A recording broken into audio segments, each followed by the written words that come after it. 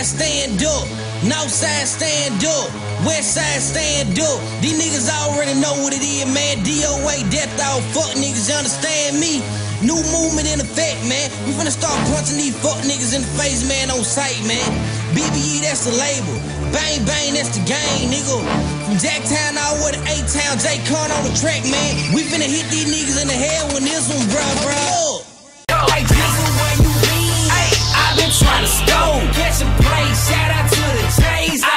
I been selling dope on the shit. I think on the shit. I got me a brick. Broke that bitch down the number bitch and jumped out throwing leads. Hey.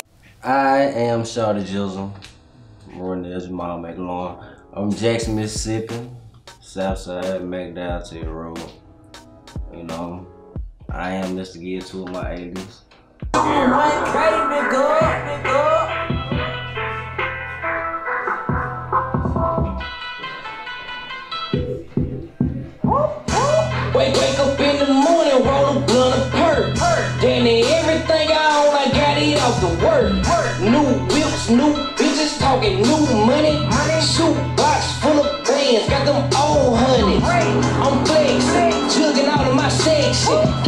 in my Rillo, steady sipping on tanks. Brody got an extendo, run a wrong and get messy. But my last jug, I made eight bands, put every grain in my necklace. Jizzle come from my middle name, Jamal. You know what I'm saying? And I like when, when Snoop and them came out with the for shits on my nizzle type shit.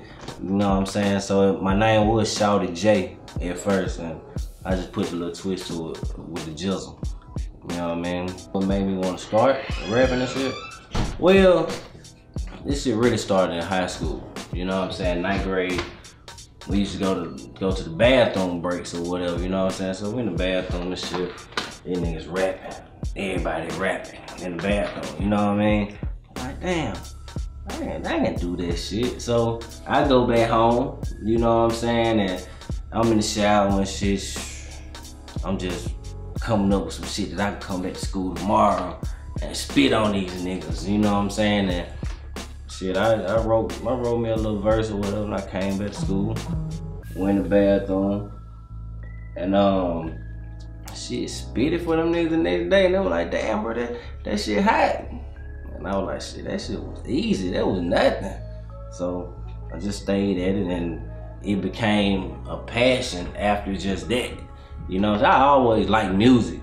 You know, I love music, always been a fan of. Well, coming up, when I really got into music, music, you know what I'm saying, when I'm buying, actually buying CDs and shit, you know, around my era, we had Master P, No Limit, you know what I'm saying? Then I got a little older, you know what I'm saying, like Boosie was kind of around the same age, you know what I'm saying? And it was like I can relate to the shit that he talking about.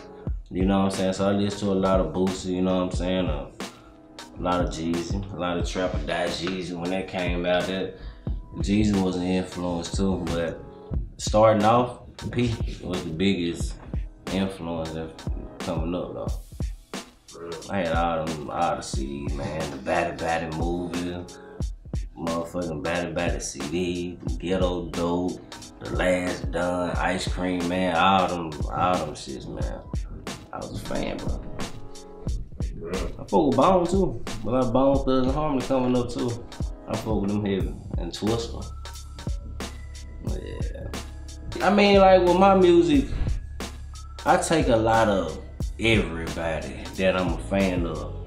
You know what I'm saying? Because I listen to a lot of different styles and a lot of different niggas, you know what I'm saying? So it's like, okay, well now, I I I, I like how he how you riding riding the wave on these type songs or whatever, you know what I'm saying? So I might take a little bit of this guy, a little bit of this dude, a little bit of this, a little bit of that, you know what I'm saying? Mix it all up in my verses, you know what I'm saying? Shit.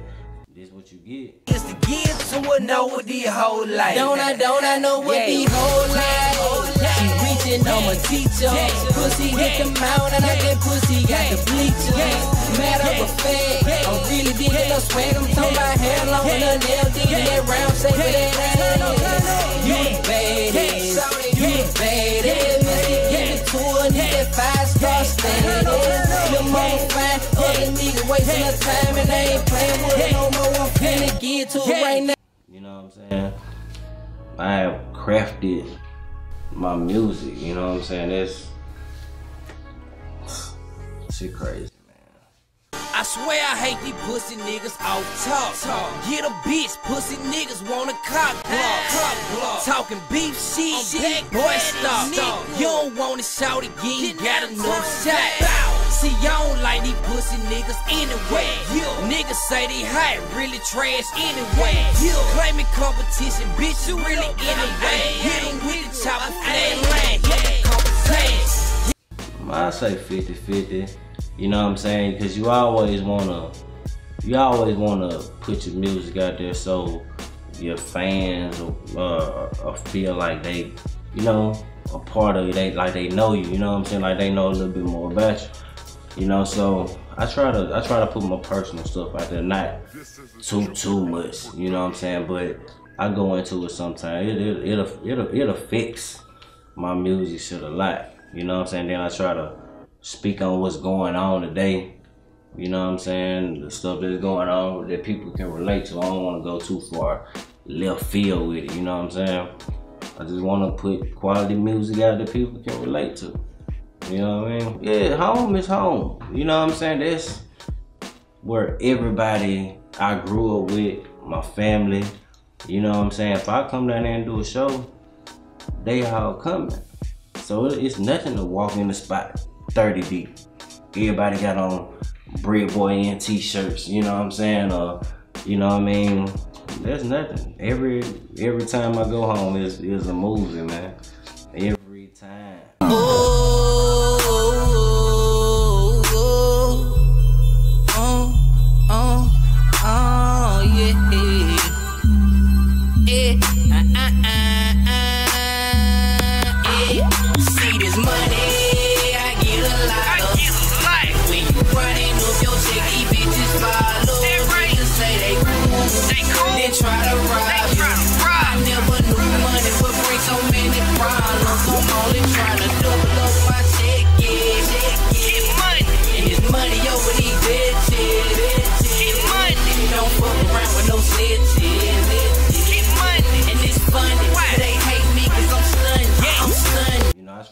I try to perform as often, but as of late, you know what I'm saying, when I go home, I be getting pulled this way, pulled this way, pulled this way, cause you know you gotta see your mom, you gotta see your dad, you gotta see your family, or whatever. So lately when I've been going home, it's just been to see family and just handle business, you know what I mean?